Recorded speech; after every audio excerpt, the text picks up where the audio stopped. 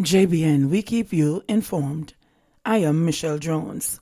Woman dies after car plunges into Rio Cobre.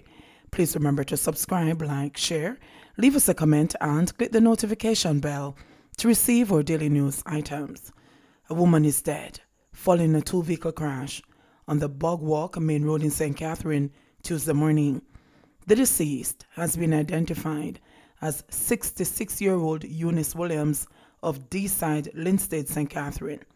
Sometime after 10 o'clock, both vehicles were heading towards Bog Walk when Miss Williams tried to overtake a truck. Both vehicles crashed, and Miss Williams's car plunged into the Rio Cobre. She was pulled from the vehicle. However, attempts to resuscitate her were unsuccessful. From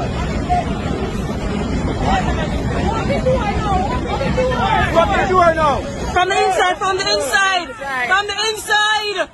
Open from the inside.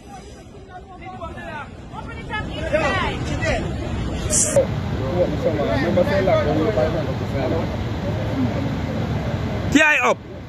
Oh God. See, see her hand them black already?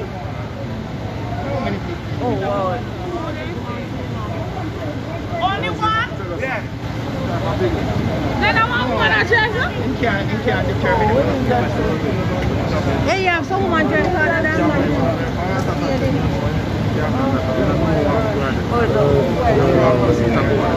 Watch him can't manage her. In camera, him alone. Hey, hey, stop, stop, stop. You can't manage her. Fireman then there. And then put up in there, man.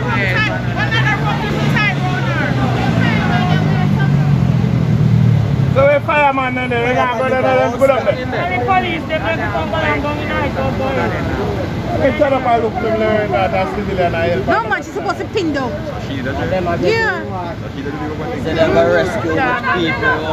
Yeah. Bro, bro, don't try. You need help. So we are looking Fireman, them go down there, man. Nothing not doing right?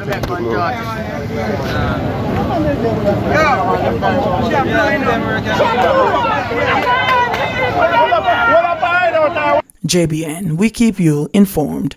Please remember to subscribe, like, share, leave us a comment, and click the notification bell to receive our daily news items.